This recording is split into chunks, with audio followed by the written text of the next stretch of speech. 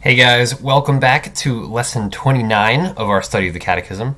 This week we're introducing the Ten Commandments. So we'll begin with a prayer in the name of the Father, and of the Son, and of the Holy Spirit. Amen. Our Father, who art in heaven, hallowed be thy name. Thy kingdom come, thy will be done, on earth as it is in heaven. Give us this day our daily bread, and forgive us our trespasses, as we forgive those who trespass against us. And lead us not into temptation, but deliver us from evil. Amen. Hail Mary, full of grace, the Lord is with thee. Blessed art thou amongst women, and blessed is the fruit of thy womb, Jesus. Holy Mary, Mother of God, pray for us sinners, now and at the hour of our death. Amen. Glory be to the Father, and to the Son, and to the Holy Spirit, as it was in the beginning, is now, and ever shall be, world without end. Amen. Angel of God, my guardian dear, to whom his love commits me here, ever this day be at my side, to light and guard, to rule and guide. Amen. O my God, I firmly believe that thou art one God in three divine persons, Father, Son, and Holy Ghost. I believe that thy divine Son became man and died for our sins, and that he will come to judge the living and the dead. I believe these and all the truths which the Holy Catholic Church teaches, because thou hast revealed them, who canst neither deceive nor be deceived. O my God, relying on thy almighty power and infinite goodness and promises, I hope to obtain pardon of my sins, the help of thy grace, and life everlasting through the merits of Jesus Christ, my Lord and Redeemer.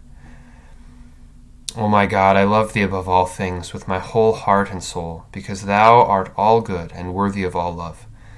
I love my neighbor as myself for the love of thee. I forgive all who have injured me, and ask pardon of all whom I have injured.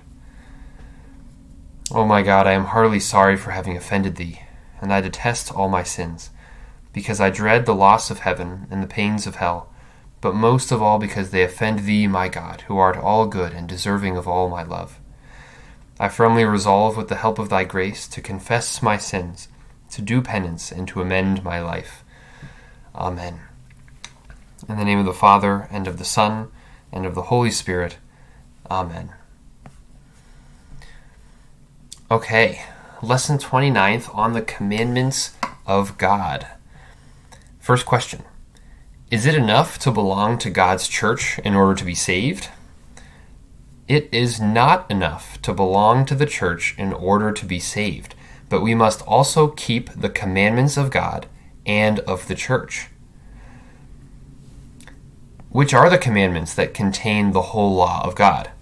Altogether, the commandments which contain the whole law of God are these two Thou shalt love the Lord thy God with thy whole heart, with thy whole soul, with thy whole strength and with thy whole mind.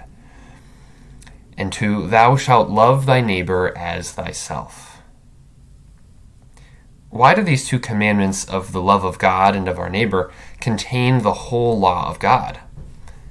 These two commandments of the love of God and of our neighbor contain the whole law of God because all the other commandments are given either to help us to keep these two or to direct us how to shun what is opposed to them. Which are the commandments of God? The commandments of God are these ten. 1. I am the Lord thy God, who brought thee out of the land of Egypt, out of the house of bondage. Thou shalt not have strange gods before me. Thou shalt not make to thyself a graven thing nor the likeness of anything that is in heaven above, or in the earth beneath, nor of those things that are in the waters under the earth. Thou shalt not adore them, nor serve them. 2. Thou shalt not take the name of the Lord thy God in vain. 3. Remember thou, keep holy the Sabbath day. 4. Honor thy father and thy mother. 5. Thou shalt not kill. 6. Thou shalt not commit adultery. 7. Thou shalt not steal. 8. Thou shalt not bear false witness against thy neighbor. 9. Thou shalt not covet thy neighbor's wife. And 10. Thou shalt not covet thy neighbor's goods. Who gave the Ten Commandments? Altogether, God Himself gave the Ten Commandments to Moses on Mount Sinai, and Christ our Lord confirmed them. Okay, well, there you have it. That's the basic rundown of the Ten Commandments.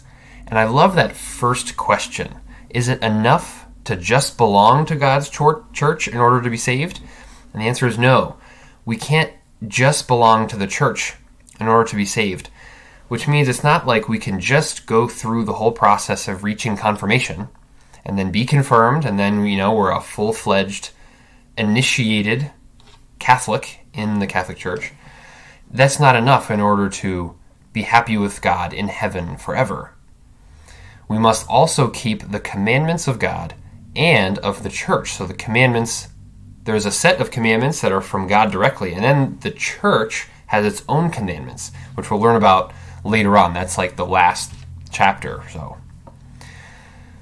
So then this we're just learning about the commandments of God, which he revealed to us directly on Mount Sinai through Moses. You know, Moses came down the mountain bearing these two tablets.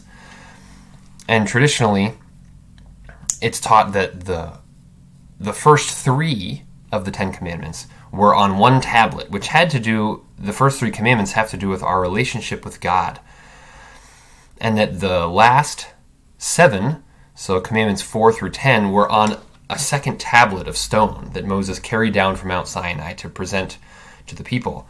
And those have to do with our relationship with others, other people.